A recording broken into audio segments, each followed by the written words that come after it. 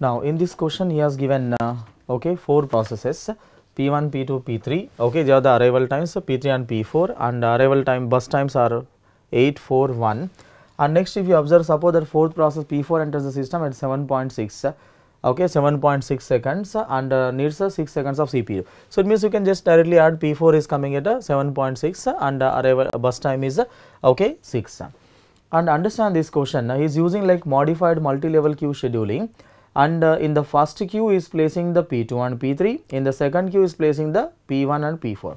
So P2 P3 placed in the first queue and uh, P1 P4 placed in the second queue and uh, whenever okay the chance is given uh, okay now just understand here P2 P3 processor get the 1 second of time okay if they are in the CPU and uh, second queue process P1 and uh, P4 okay get the 2 seconds of uh, 4 seconds uh, 4 seconds of CPU time if they are in the CPU. Processes are dispatched in the same in the following strategy that uh, two processes if available okay are dispatched from the first queue and uh, followed by one process okay if available from the second queue okay what will be the average turnaround time. So let's try to solve the problem first. now how to solve the problem first so time always starts at 0 first is saying that okay one uh, two processes uh, okay what is that first how many process from the first queue how many process? Okay what is the strategy following is uh, two processes available dispatched from the first queue and one process dispatched from the okay second queue. So if it is available one process dispatched from here and uh, two processes uh, dispatched from here. Okay that you understand. So okay now look at here. First now at the time 0 first of all at the time 0 okay if you want to start with the q1 uh, okay you can start with the okay p2 and p3 but p2 p3 not available.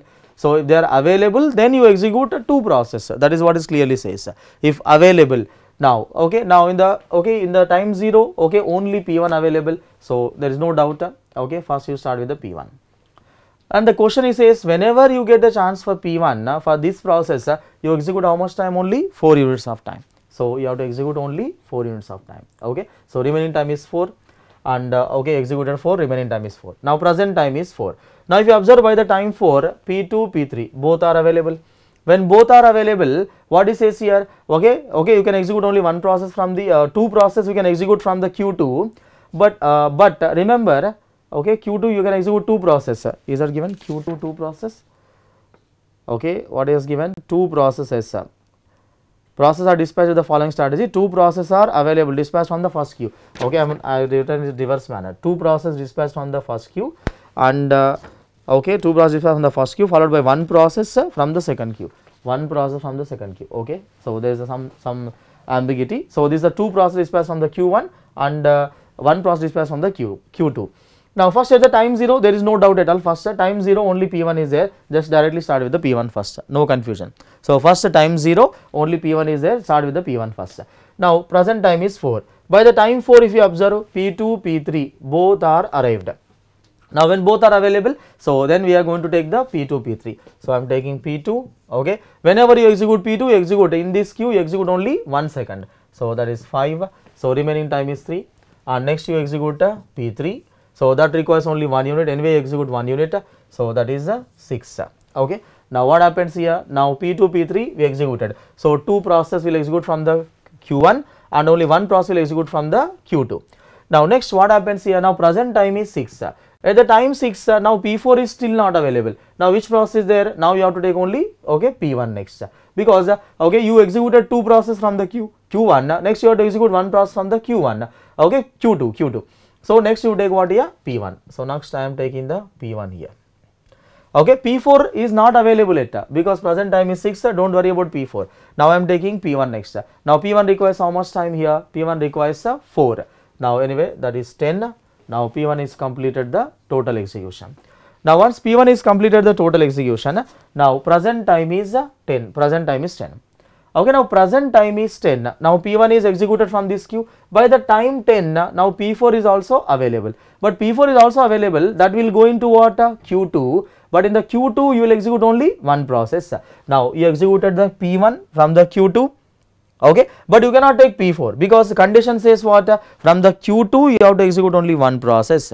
From the q1 you can execute what? Two process if available Now from the Q2 now you executed P1 here. Now you cannot execute what uh, P4 now. Next you execute what uh, P3 now because uh, okay now anyway P, uh, P uh, sorry P2 P, next you execute P2 now P3 is uh, anyway completed the total execution. Next you execute P2 available is only P2 so next I take P2 here.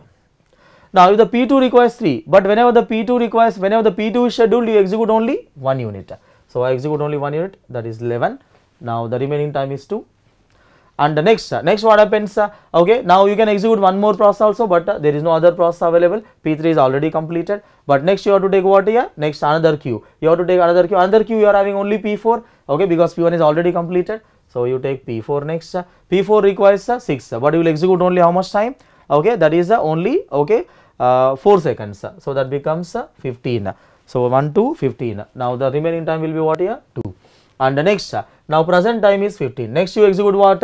Okay you have to execute the process from the okay other queue. Okay that uh, p2 next. You are having only one process there you execute only one process.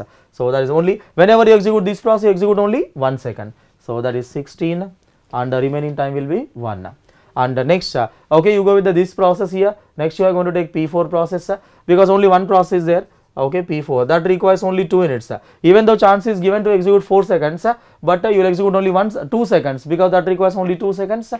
so that is 18 now that becomes 0 and the last process p2 p2 requires only 1 that is uh, 19 so at the time 19 uh, okay all the process complete their execution.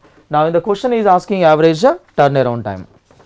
Okay you just uh, find out average turnaround time. So just uh, take out the completion time here first now completion time uh, okay p1 p1 completion time is uh, 10 and uh, p2 p2 completion time is uh, 19 and uh, p3 p3 completion time is 6 and uh, p4 completion time is uh, 18 okay so that is uh, 10 19 6 and uh, 18 okay that is perfect. So you can just find out uh, okay the turnaround time. So you just calculate uh, what is the formula for turnaround time? I am just writing here. Turnaround time equal to completion time minus uh, arrival time. Okay so that is the turnaround time you just take out the turnaround time and uh, find out average. So divided by 4 process uh, number of process are 4 okay you can just divide that is the okay average turnaround time. That is 10 19 minus 0.4 that is a 18.6 18.6 and uh, 6 minus 1 that is a 5 uh, this one is what uh, 18 minus 7.6 that is how much is coming here? 18 minus 7.6 that is 10.4 okay perfect so you can just uh, add all of them and uh, find out the average turnaround time. So average turnaround time coming as uh, okay that is uh, 44 you are getting total. That is if you add that so 44 divided by 4 that is uh, 11 11 is average turnaround time. So right answer is the c. C is the correct answer